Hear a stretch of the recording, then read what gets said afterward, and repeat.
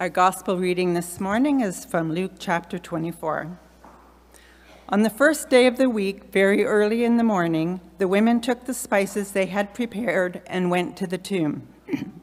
they found the stone rolled away from the tomb, but when they entered, they did not find the body of the Lord Jesus. While they were wondering about this, suddenly two men in clothes that gleamed like lightning stood beside them. In their fright, the women bowed down with their faces to the ground. But the men said to them, Why do you look for the living among the dead? He is not here, he has risen. Remember how he told you while he was still with you in Galilee The Son of Man must be delivered over to the hands of sinners, be crucified, and on the third day be raised again. Then they remembered his words. When they came back from the tomb, they told all these things to the eleven and to all the others. It was Mary Magdalene, Joanna, Mary the mother of James, and the others with them who told this to the apostles. But they did not believe the women, because their words seemed to them like nonsense. Peter, however, got up and ran to the tomb. Bending over, he saw the strips of linen lying by themselves, and he went away, wondering to himself what had happened. I pray God will bless us with the understanding of this word this morning. In a moment, I'm going to read another scripture passage, which we're going to be reflecting on. But in the reading that we heard from Brenda earlier, thank you, Brenda, for reading, um, we heard the story of that Easter morning. On that first day of the week, when some of Jesus' followers went to the tomb where he had been buried, and they found that the tomb was empty. They found that the stone was rolled away, and they found that Jesus was not there. And we were read twice that they were wondering about this. In verse 4, we read that they were wondering about this, and then the two men in clothes came and told them the news about Jesus. But at the end of that passage, we were left with that closest follower of Jesus, Peter the one who had just a couple days before thought he could follow his master to the very end, but ended up betraying or denying him in that last night of Jesus' life on earth before he died. And we see Jesus confronted with this empty tomb, and it says, Peter got up and ran to the tomb. Bending over, he saw the strips of linen lying by themselves, and he went away, wondering to himself what had happened. And it's that wondering that, ha- that went along that I want us to, to join in with this morning. There is a lot of mystery to unpack when we're confronted with that empty tomb. And the passage that we're going to read unpacks some of it, and it's what we're going to be thinking about this morning. The joy and the laughter and the celebration will come after in the Easter story, but at first, there is this wondering, and I hope we can bring the two together, that we can wonder about what this means and see how joyful that news is. So, will you listen as we read together, or I read for you and you follow along, Romans chapter 6, verses 1 to 14. What shall we say then? Shall we go on sinning so that grace may increase? By no means. We are those who have died to sin. How can we live in it any longer?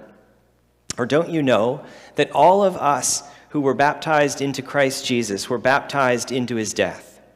We were therefore buried with him through baptism into death, in order that just as Christ was raised from the dead through the glory of the Father, we too may live a new life. For if we have been united with him in a death like his, we will certainly also be united with him in a resurrection like his. For we know that our old self, was crucified with him, so that the body ruled by sin might be done away with, that we should no longer be slaves to sin, because anyone who has died has been set free from sin. Now, if we died with Christ, we believe that we will also live with him. For we know that since Christ was, raised from the dead, he cannot die again. Death no longer has mastery over him. The death he died, he died to sin once for all, but the life he lives, he lives to God. In the same way, count yourselves dead to sin, but alive to God in Christ Jesus. Therefore, do not let sin reign in your mortal body so that you obey its evil desires. Do not offer any part of yourself to sin as an instrument of wickedness, but rather offer yourselves to God as those who have been brought from death to life, and offer every part of yourself to him as an instrument of righteousness. For sin shall no longer be your master, because you are not under the law, but are under grace. Let's pray. Lord, as we prepare to consider these words and to wonder about the meaning of that resurrection morning, we pray that you will be with us. We pray that you, by your Spirit, will speak to us the truth about Jesus, and through that would speak the truth about our lives. Because we all come carrying different burdens, they may be the burdens of just this morning and things that have happened before we came here. They may be burdens that have been weighing on us for a long time. We may be facing fears and uncertainty about the future. And here we are together today, listening to the account of our Savior who died for us and who death could not hold. This changes our world it changes our lives. And we pray, Lord, that you would speak to us the truth that you have to say in us and to us and then through us as we seek to be your people who faithfully point to Jesus, our Savior and Lord. Speak during this time, we ask. In Jesus' name, amen. Today is a day of joy. And the sun came out to make sure that we knew it was going to be meant to be a day of joy. This day, Easter Day, Resurrection Sunday, is the high point of the year when it comes to the meaning of our Christian faith. This is the day when everything else comes together. The hope of Advent, the proclamation of peace that came when Jesus entered into the world at Christmas, they point here where peace ultimately was achieved in Jesus' death on the cross and his resurrection. The servant love of Maundy Thursday, as Jesus washed his friends' feet and shared his Last Supper with them. And then the full expression of that love in the sacrificial death, the redemptive death that he died on Good Friday. They all mean what they mean because on Sunday morning Jesus rose from the dead. The resurrection was God's affirmation. It was God's all caps yes over everything that Jesus had done in his coming and his life and his death. Today is a day of joy. And it's a day of joy mainly because of what the resurrection promises us. So, in the time that we have today, we're going to reflect on resurrection's promises. Sometimes promises do bring us joy. For kids, the promise of a March break vacation that's going to be spent at Disney World brings a lot of joy. Sometimes that joy comes when people are in middle of their life and they get told they're going to go to Disney World for a vacation. I'm looking at you, Julie the days and the weeks and the counting down on Facebook and the anticipation starts to take on that feeling of the joy that's going to be experienced there even before the trip arrives. And sometimes even smaller promises can bring us joy. The promise of a warm house and a cozy bed at the end of a long and difficult day. Or maybe even the promise of freshly baked cookies after school. These things can bring joy to us. But not every promise brings joy. This world that we live in often promises us more than it can deliver. Products are advertised as if they will change our lives. Buy this car or this piece of clothing, and you will be a different kind of person. You will be fulfilled. These promises are empty. But the promises of the resurrection, the promises that are made in Jesus being raised from the dead, these promises answer our deepest needs and our deepest longings. And in this passage in Romans chapter 6, there are two promises that we're going to look at this morning. The first promise of the resurrection is that we are able to live a new kind of life now, a life that is free from sin and that is powered by God. And that promise is found first in verses 2 to 4. And if I set a little bit of context for this chapter, which we jump in in the middle of an argument, in the middle of a discussion, Paul has been talking, the writer of this letter, in chapter 5 about the free gift of God that has brought life to us sinners. And he's been telling us about what a completely undeserved gift, a completely undeserved pardon for sin, a completely undeserved new relationship with God that has come through Jesus Christ's life and death. His point through chapters 1 to 5, really, and especially in chapter 3 and beyond there, is that we are all unable to do for ourselves what it is that Jesus has done. And it comes as this totally free gift. And so then he asks, as many people have done, if nothing that I do brings me into a good standing with God, does that mean I can just do whatever I want with my life? Does it mean I can just go on not caring about the decisions that I make, whether it's right or wrong, because God is so good and gracious that He just wants everybody, and He won't care if I'm doing that? And so that's the question that's on Paul's mind. And then at verse 2, he says, By no means. We are those who have died to sin. How can we live in it any longer? He says here that the whole idea of being a Christian is that our lives are fully shared with Jesus. So that to come to Jesus, which is symbolized in our baptism when we profess our faith, as we go down into that water, a symbol of us dying and being buried with Jesus, that to come to Jesus is to have died to him, to have been buried with him. And that leads us to this promise our death with Christ means that just as Christ was raised from the dead through the glory of the Father, we too may live a new life.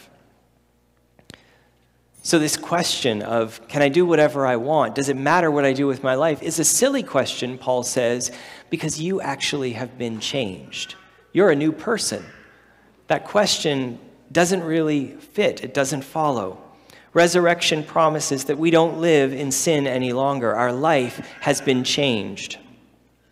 Now, in daily life, we don't talk much about sin anymore. Even in the lives of Christians, very few seem to see their daily life as the kind of battle against sin that is talked about in this passage. But honesty will lead most of us to recognize that we are aware of a problem. In an old definition, somebody said that sin is when humans are turned in on themselves or curved in on themselves, away from God, away from other people, the two that we are called in this life to love and to serve. And I wonder if we've ever been turned in on ourselves, focused on our own happiness and our own satisfaction and our own needs as much as we are right now. A moment's reflection shows us that the problem is real. And then there are those times that each of us experience differently when we are aware of what the Bible calls sin in our lives, even if we don't use that word. We often find ourselves trapped in patterns that eat up our time and energy in unhealthy ways. And we find ourselves stuck in habits and behaviors that we just wish that we could change, and we don't seem able to. The good news is this for those who come to Christ, the resurrection is a promise that we can have a new life now, powered by God's Spirit and sharing our deepest selves with God.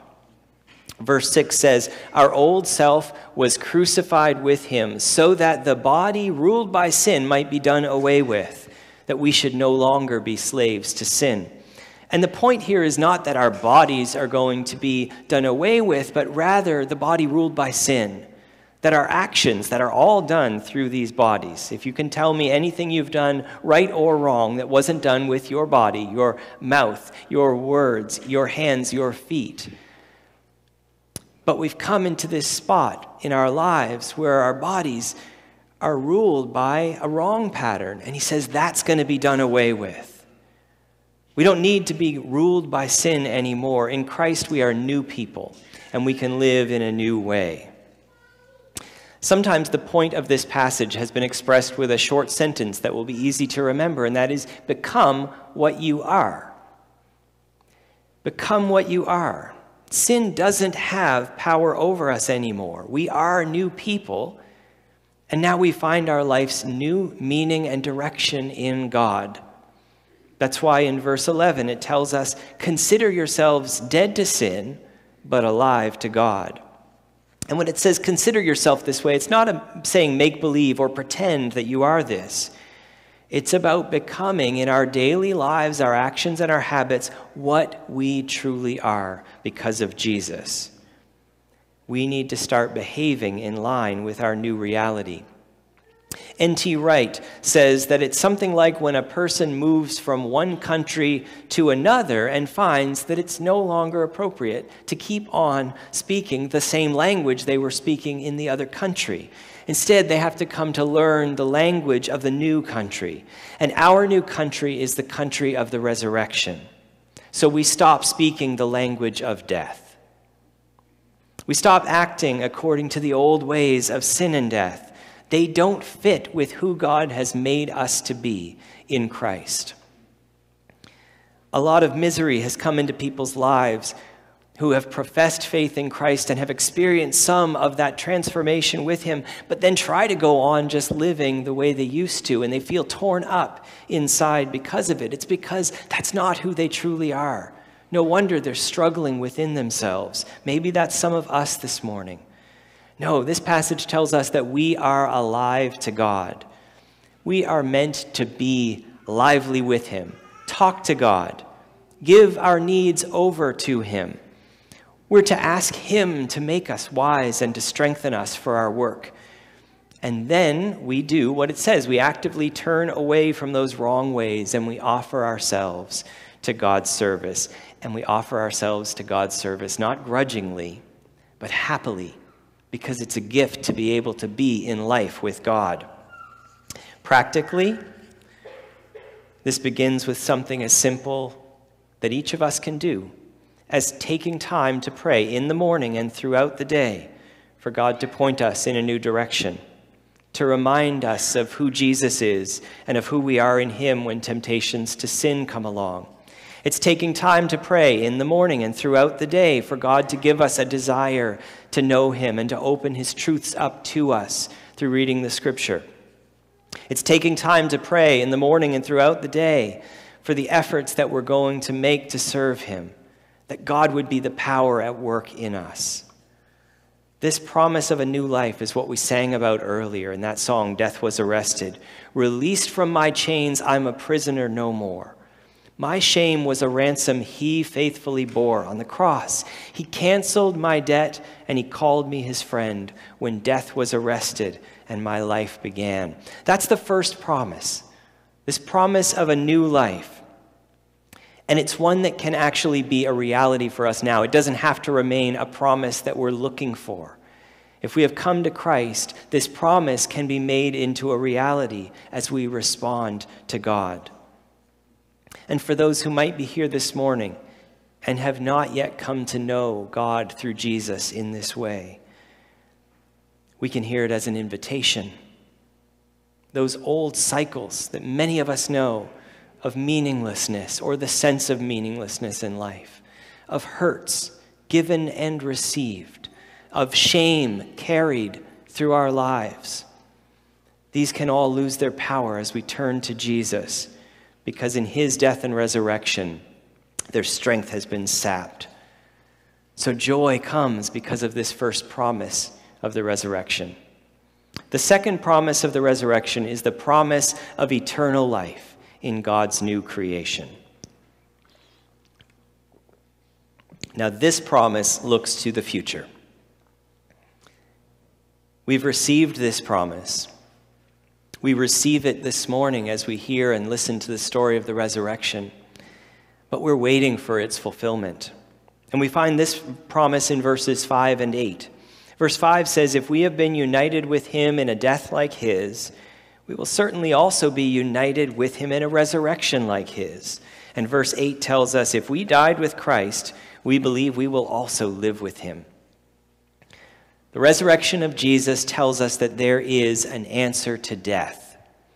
It tells us that for those who belong to Jesus, death is not the final verdict on our lives. It is not the end. And we shouldn't make light of this promise. Sometimes we hear people scoff at the faith of those who want to be sure that they're going to go to heaven when they die, as if that's a selfish thing to hope for. True faith, we're told, focuses on the life that we have now, the service and the work that we can do to make our lives better and more profitable now for God. But the biblical teaching always is both. The service and work that we do for God now, but also this promise of a life with God forever. It's true that some people talk about Jesus as if he's an escape hatch from a troubled life. And we should try to correct that thinking in people who are thinking that way. And maybe it's us sometimes, just waiting to get away. But to think about what happens when we die is a perfectly right thing for us to do. In fact, it's one of the most important questions that we can ask. If bodily life is not the end of the story, which Jesus' resurrection tells us it is not, then it matters very much that we prepare for our death. Asking questions about death is not only important, it's something that is commonly done. In Hebrews 2, we're told that the fear of death is a universal experience. And if we in our day in 2024 don't talk about death very much, it's more likely because we're in denial of it than that we're wiser or more mature than people of old days. Questions about death still cause concern and fear today. Stephen Colbert sometimes asks his guests on The Late Show a series of questions that he calls the Colbert Questionnaire. And one of the questions is, What happens when we die? And when he asks that question of these Hollywood celebrities that he's interviewing, I've noticed a few basic types of answers. And these answers point to the ways that I think most people think about death. Some people respond to this question, what happens when we die, with real and visible anxiety on their faces. They give an answer and then they look at Colbert as if they might be worried that they've said the wrong thing or they've missed something. There are others who respond with vague hopes, saying things like, I hope it's something good, or we see the people we love. Often that question mark is on people's voices. And then there are others whose responses are denials of death. Like when Arnold Schwarzenegger claimed that all of his working out and his pumping iron through his life was so that if death ever came to him, he would terminate him. The answer got a laugh, but it also shows how much of a shadow death casts over our lives. In Jesus' resurrection, victory over death was achieved. Jesus is the first case of somebody that death was unable to undo. Death made its efforts, it took him down at the cross, but it could not keep its hold. The promise of Jesus' resurrection is the promise of the final overcoming of death's grip over everything. The resurrection of Jesus is compared in Scripture to the first fruits of a crop that is about to come. Christ is raised as the first fruits of what will one day happen, 1 Corinthians 15 tells us. And at the day of Jesus' return, our bodily resurrection will follow in turn after his. So Jesus' resurrection ha- is a promise that has an analogy in something that we experience at the end of winter and the beginning of spring each year. We start noticing the lengthening of the days in February, and we begin even then to hope, some of us who aren't crazy people who love dark, long winter days.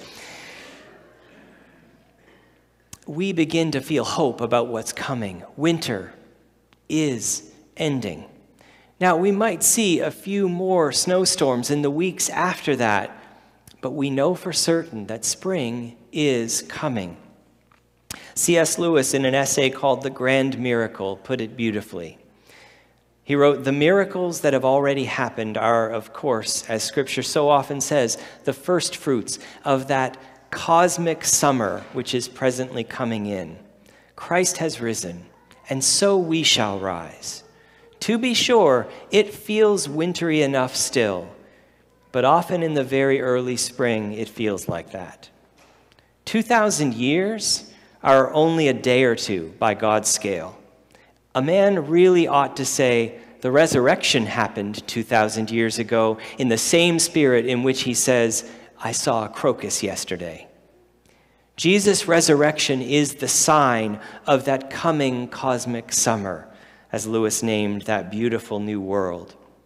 And if Jesus' resurrection is that first sure sign, what is it a sign of? We've already seen that it's the sign of our own, the followers of Jesus, our own resurrection into new, renewed bodies. But that's not all it is. Jesus' resurrection is the sign of the healing and restoration of the entire created order. As it says in Romans 8:21, the creation itself which is groaning at the present time, a groaning that we know well from the things that go on in our world, the creation itself will be liberated from its bondage to decay and will be brought into the freedom and glory of the children of God. The world, in a sense, will be resurrected as we will. This, again, is resurrection's second promise that we will experience beyond our own death an everlasting resurrection life with God in His new creation. So, this is a day of joy because it comes with these two joyous promises. A shorthand way of talking about these two promises is that our Easter faith tells us about resurrection in the body and resurrection of the body, always going back and forth between the two. So, resurrection in the body is the life that is available to us now, this life that's no longer ruled by sin, in which we are alive to God, and that we live wholeheartedly in His presence every day, asking His strength and His wisdom to walk with us. And resurrection of the body is the life that we will, are still waiting for when our bodies will be transformed, when death will finally and forever lose its power, and when we will live face to face with God, no longer fearing death or troubled by death's presence. Resurrection in the body calls us to speak the language of the country that we've moved to, to become in our everyday life what we truly are in Jesus Christ, our Savior. Resurrection in the body calls us to dedicate ourselves to knowing God more deeply to searching out the scriptures to know him and his story and his character better because we are made to be alive to him. And resurrection of the body calls us to live in the present as people of hope, to live even with the suffering that comes our way, knowing that God will have the final say. In God's new creation, there is no wrong that won't be righted nothing broken that won't be healed, no pain that won't be eased, no tear that won't be wiped away. This is important to remember because the truth is that this life isn't always easy. Some of you might say that life is almost never easy. We experience the brokenness of sin and death in dozens of different days in the course of ev- dozens of different ways in the course of every single day. It comes out in our bodies, in our relationships, in our disappointments, in our griefs, in our betrayals. But we remember that that's what Jesus' life was like as well. He experienced the brokenness of the body. We see him getting tired. We see his body giving up to death. He experienced it in relationships and betrayals as people that were close to him turned away, denying that they knew him, or turning him over to be given to the authorities.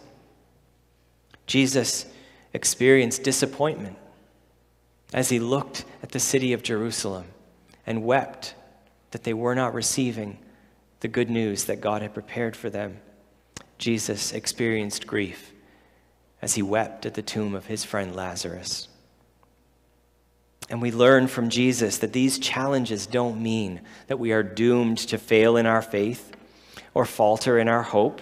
As it says in Romans 8, verse 10, just a page over from this, if Christ is in you, even though your body is subject to death because of sin, the Spirit gives life because of righteousness.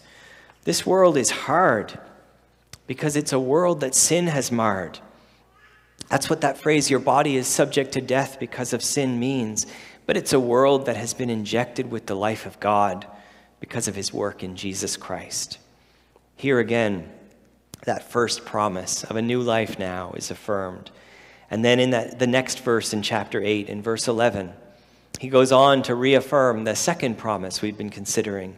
If the spirit of him who raised Jesus from the dead is living in you, then he who raised Christ from the dead will also give life to your mortal bodies because of his spirit who lives in you. Today we celebrate Easter and we open our ears to hear the promises that God speaks to us through the resurrection of Jesus. And we pray that God will call us by these promises to live an enriched life with Him now and to fill us with hope for all His plans for our future joy. Let's pray. Lord, we have heard these promises of resurrection in the body, the new life we can have now, and resurrection of the body, the promise of our renewed bodily resurrected lives in your new creation. Help us, Lord, to respond as people who are alive to you and dead to sin in this life we have now, and to live with hope in the face of difficulty for the promises you have made about the future. Strengthen each of us for these tasks, we ask in Jesus' name. Amen.